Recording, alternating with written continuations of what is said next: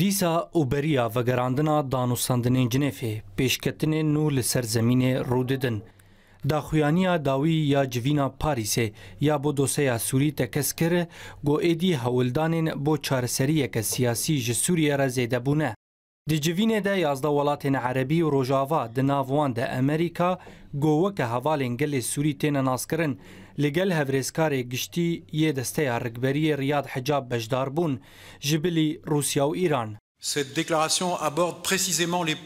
Wezîrê Derve yê Ferensî Jean-Marc Ayrault daxuyaniya wê civînê xwend û got ku rejîma Beşar el Esed sûcdarê têkbirina plana agirbestê û veguhestina siyasî her wiha danûstandinên Cinêfê ye.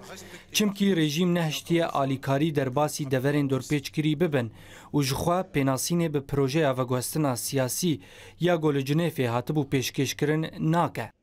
Errold di daxuyaniya xwe de got ku niha hewldan hene da danûstandinên aşitiyê di navbera rejîm û rikberiyê de di bîstê vê mehê de berdewam bikin û li hevkirina Rûsî, Emerîkî ya dawî bo plana agirbestê û nerîna siyasî li Sûriyê nîşana wê yekê ye.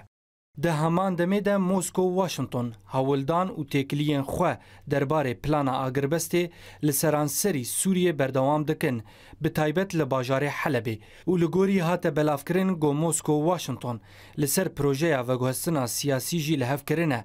û tê pêşbînkirin ku her du aliyan li ser çûna Beşar li Esed ji ser desthilatdariya Sûriyê di meha Tebaxa bê de tekez kirine.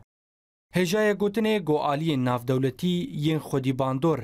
dê di hefteya bê de li Viyêna paytexta Nemsayê bo çareseriya sûrî bicivin û li gorî agahiyan dê Rûsya û Îran jî di heman civînê de beşdar bibin.